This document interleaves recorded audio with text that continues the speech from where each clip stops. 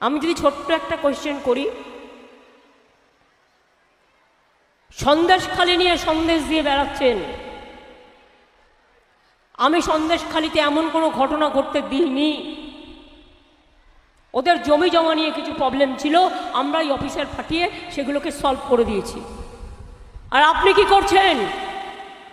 গতকালও একটা ছোট্ট মেয়ে রাজভবনে চাকরি করতো বিবিএক্সেতে তার সাথে কি ব্যবহার করেছেন মাননীয় রাজ্যপাল মহাশয়? আপনি আমায় কালকেও বলে পাঠিয়েছেন, আমার মন্ত্রী কেন আপনাকে সব বলেছে? শুনে রাখুন, আমার কাছে একটা নয়, হাজারটা ঘটনা এসছে, কিন্তু আমি কোনো দিন কোনো কথা বলিনি। কিন্তু কালকে মেয়েটির কান্না আমার হৃদয় বিদরণ হয়েছে। সন্দেশখালি বলবার আগে আগে রাজ্যপাল কেন কেন তার কাজের মেয়েকে, কেন তার ঘরে কাজ করে বলে?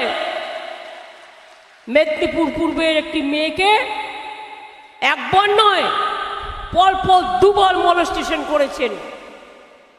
আমি তো তার কান্না দেখলাম, আমার কাছে ভিডিও এসছে। আমি পুরো মন দিয়ে দেখেছি। সেখানেই তো আপনি কাল থেকে এলেন। কই, একটা কথা মুখ দিয়ে তো বললেন না? আপনার লোকজনেরও তো তখন ছিল, যখন মেয়েটা কেঁদে বেরোচ্ছিল। বলেছে, আর আমি রাজভবনে চাকরি করতে যাব না। ভয় পাচ্ছে।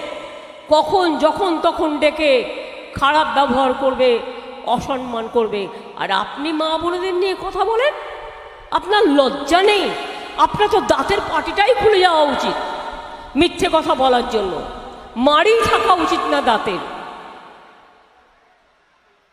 দুই বলে কিনা? তৃণমূল দুর্নীতিবাদ তাই ওনারা কাজ করবে আরে তৃণমূল তো তোদের দুর্নীতির কাছে চুনোপুটি। জানেই না কিছু। পঞ্চায়েত এলাকায় কে কোথায় কি করেছে, সব পঞ্চায়েত আমাদের নয়। তার সাথে কি ব্যবহার করেছেন মাননীয় রাজ্যপাল মহাশয়? আপনি আমায় কালকেও বলে পাঠিয়েছেন, আমার মন্ত্রী কেন আপনাকে সব বলেছে? শুনে রাখুন আমার কাছে একটা নয়, হাজারটা ঘটনা এসছে, কিন্তু আমি কোনো দিন কোনো কথা বলিনি। কিন্তু কালকে মেয়েটির কান্না আমার হৃদয় বিতরণ হয়েছে। সন্দেশখালি বলবার আগে আগে রাজ্যপাল কেন? কেন তার কাজের মেয়েকে? কেন তার ঘরে কাজ করে বলে? মেদিনীপুর পূর্বের একটি মেয়েকে একবার নয়, পরপর দুবার মলস্টেশন করেছেন। আমি তো তার কান্না দেখলাম, আমার কাছে ভিডিও এসছে। আমি পুরো মন দিয়ে দেখেছি। সেখানেই তো আপনি কাল থেকে এলেন। কই একটা কথা মুখ দিয়ে তো বললেন না?